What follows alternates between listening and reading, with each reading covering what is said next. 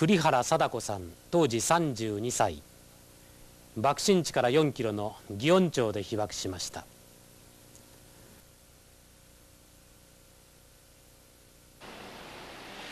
詩人栗原さんは戦後一貫して世界の文学者たちと交流し平和を訴えてきました。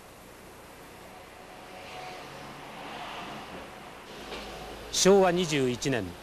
夫の栗原忠一を助けて厳しい言論統制の中で発行した文集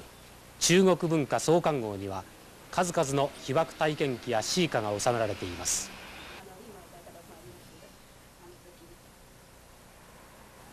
栗原さん自身もこの中に被爆直後地下室で生まれた子を歌った詩「馬しめんかな」を発表しました。馬しめんかな。壊れたビルディングの地下室の夜だった。原子爆弾の負傷者たちはろうそく一本ない暗い地下室をうずめていっぱいだった。生臭い血の匂い刺繍汗臭い一息でうめき声。その中から不思議な声が聞こえてきた。赤ん坊が生まれるというのだ。この地獄の底のような地下室で今若い女が産気づいているのだ。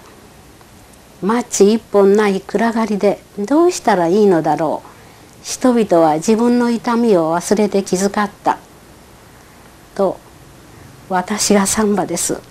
私が混ぜましょう。と言ったのはさっきまでうめいていた重症者だ。かくて暗がりの地獄の底で新しい命は生まれた。かくて暁を待たずサンバは血まみれのまま死んだ。馬しめんかな。馬しめんかな。斧が命すつとも。それで1時間先には誰が死ぬかわからないような状態なんですね。ですからねもう髪が抜けたらもうダメだというふうにみんな言っていましたのですね。それで人会う人ごとにねまあ挨拶代わりにねあの髪は抜けませんかいとお互いにこう自分の髪を引っ張ってみるような状態だったんです。そういうふうでもう1時間先には誰が病気に発病するかわからないというふうな状況の中で、えー、次々に死んでいく地域はまるでまあ死に取りか取り囲まれたような状況なんです。そういう状況の中で私は地下室でですね新しい命が生まれたという話を聞きましてね。大変感動したわけなんですそれで家に帰りましてもうその頃は紙もろくにありませんでしたけど古いノートの端にですねまあ、一気に書き上げたのが「馬しめんかな」というのでちょうど8月の30日頃だったと思いますそれを書いたのがね。その日の朝私はあの夫を職場に出しまして、えー、小学校の1年生と4年生の女の子を小学校に送りました。その後でお台所の後片付けをしていたんです。そうしますと裏の畑に青い線香がパッと光ったもんですからおかしいな何だろうと思ったわけです。照明弾かしらん照明弾を間違って落としたんかしらんと思ったんですけどそれにしてもおかしいと思いましてまあともかく防空壕に入ろうと思いました。そしてあの裏の畑にあった防空壕に入ったわけです。上半身ほど体を入れますと爆風がですねドカンとそのお尻にぶつかってひどく痛かったんです。でもまあ防空壕の中に入りました。途中であの2人の子供が泣きながら帰ってくるのに出会いました。子供たちは西空に出ておりましたあの黒いキノコ雲がぐわぐわと登っているのを見ましてね怖い怖いと言って泣きました。そしてまあ夫は1週間ほど家に帰らないでねあのずっと会社に寝泊まりしておりました。戦争が終わったすぐ次の年でしたね、はい、3月の10日が発行なんですけどプレスコードがあるということはね私たちは初め知らなかったわけなんです事後検閲出しましたらねそしたらあの今度は呉の吉浦にあるねあの民間情報部の支部からですね検閲支部からあの発行人の栗原忠一に呼び出しが来たわけなんです。それで行きましたら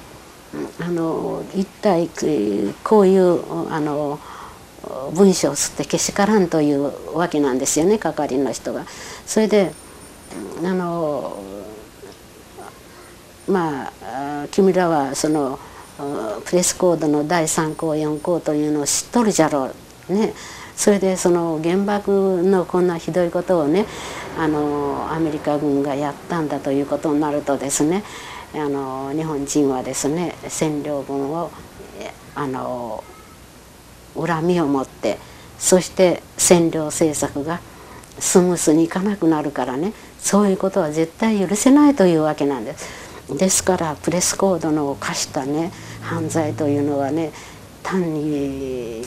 あの文書が出せなかったというだけでなくてたくさんのね被爆者をですね見殺しにしたということがあります。個人的体験を語る前にですね私はあのぜひあの言わせていただきたいことがあるんです。と申しますのは私国際会議なんかに出かけましたりまたあの外国の方のですね本を読んだりしますとねいつもそのぶつかる言葉があるわけなんです。特にまあアジア太平洋の人たちはですねあの広島や長崎の人たちはあの自分たちの被害体験を語り日本はですね8月6日1945年8月6日以後被害唯一の被爆国になり被害国になった。だけど加害国であることを忘れるなというふうに言われるんです。私はそういう人たちに対してあの広島という時の詩を書いてるんですけどあの広島といえばああ広島と優しく答えてくれるだろうか。広島といえばパールハーバー広島といえば南京虐殺。広島といえばあ女や子供を壕の中に閉じ込め、うん、ガソリンをかけて焼いたマニラの血あぶり火あぶり。広島といえば血と炎の子玉が帰ってくるのだというそういう詩なんですけど私たちは個人の体験を語る前にまずそのことを反省して語らなければならないと思っております。